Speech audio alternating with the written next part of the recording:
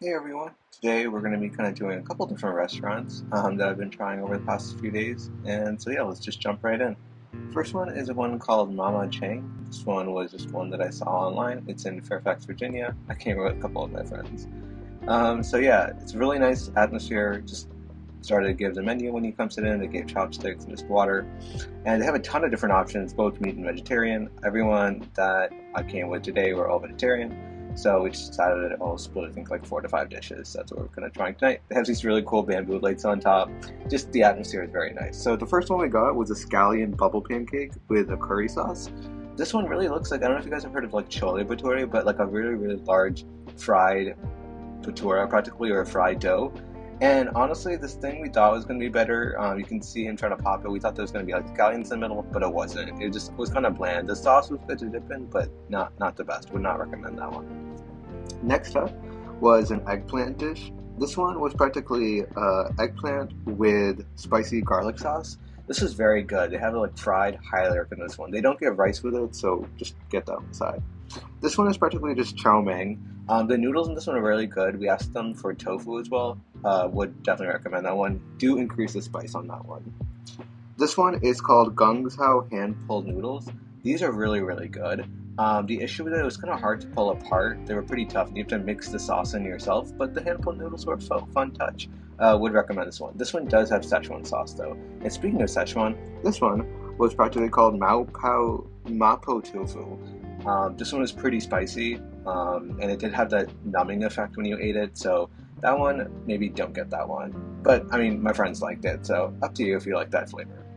It did give us a lot of food. I think the total price came out to be $100, so definitely, definitely a lot of food. Now, okay, quickly, let's jump into the next one. I uh, went to a place called Eden Center and got a bunch of tofu. Um, the tofu here uh, was, I think, like uh, mushroom and onion was one flavor, plain was another one, another one was, I think, black pepper. They're pretty good. You can see us eating here on top of the car. I would recommend this one um, for only in well, I got all that tofu and I ate already half of it in the image um, for only five dollars. So I would recommend that one, but definitely do go to Mama Chang, the one before. Uh, I would probably recommend that one. Um, just maybe don't ask for extra spicy oil, and aside from it, it should be good. It is a little bit oily.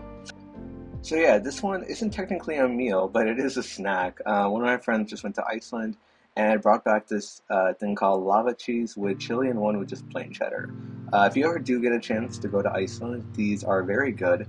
Um, they're practically just cheese crisps, but they kind of, cheese crisps, sorry, um, but they do have like a little bit of kick with it, at least the chili one. I really enjoyed it. Iceland, a lot of their exports have um, really sweet exports, but not a lot of like savory ones that at least aren't like fish or fermented stuff. So that's why um, I just saw this uh, when I was in the airport, and yeah, they're handmade in Iceland. Definitely do recommend this one if you ever do get a chance.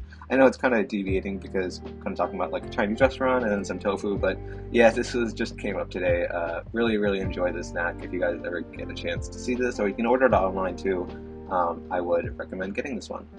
So uh, jumping into the next one. Um, the last restaurant that I went to was actually a new place, also in Eden Center in Fairfax. Um, this one is called uh, it's the tea, I believe. And it actually opened up last week, and they have a ton of really good fresh matcha drinks. Uh, they also have fruit or just coffee ones. I waited an hour the first day when I went to go to this place. Um, they had a nice soft opening on April 26, 2024. But yeah, you can kind of see they have like really good matcha drinks. I got one with fruit. I got one with boba. Um, I got another one with I think strawberries as well and mango. Really do recommend this one if you do get a chance. It is though at the end of the day just matcha boba. But yeah, it was overall a great time, and hope you guys enjoyed watching. Thanks.